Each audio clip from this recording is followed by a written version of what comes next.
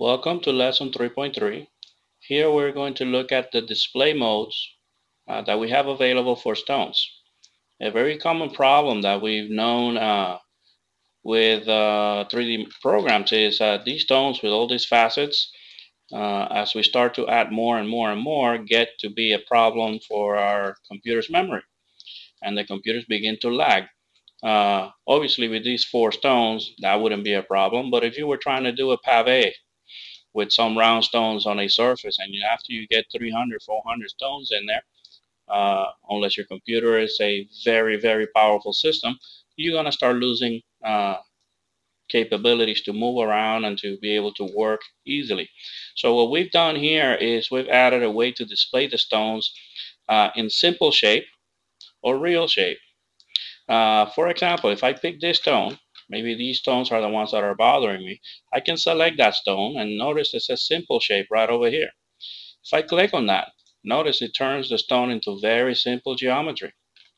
I can do that to all the stones that I need. For example, I can pick these guys also, simple shapes, and notice that they no longer have all the faceting that a normal stone would have. I can pick them all if I want to, put them all in simple shape. When I want them back to real shape, I can go ahead and put that back and go back to real shape. And notice they all go back to the real shape. Now obviously the program still recognizes even even if they are in simple shape we can still add bezels, we can still do heads and prongs. It still recognizes the stones when they're in simple shape. So there's nothing to worry about. You're not losing any any functionality.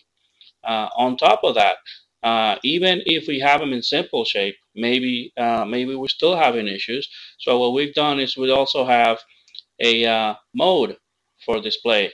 So for example, we can select these tones here and go to the display mode and maybe instead of with all color and transparency, we want them to always display only shaded no matter what mode we're in Rhino or RhinoGold. So we go here to shaded mode. Notice they are now showing in shaded mode. They don't have any uh, reflectiveness or anything that the normal rendered view would have. Now also on top of that, we could also decide that we want these tones to show in wireframe, even to save even more memory. And now no matter what mode we're in, those tones will always shade in uh, wireframe. And we're not going to be losing uh, memory and we'll be able to add, you know, a thousand of these tones without having any issues with our uh, computer.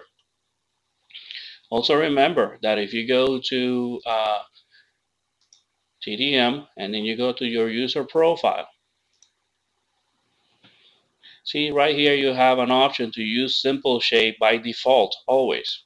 So if you know that you work with a lot of complex uh, models with a lot of stones and your your computer is having issues, go to the go to your user profile, set this on uh, to on, and then you'll never have to worry about your computer running out of memory because the stones will always be displayed in simple shape you know and to turn them back to regular we can just go back to there and we got our stones back to normal.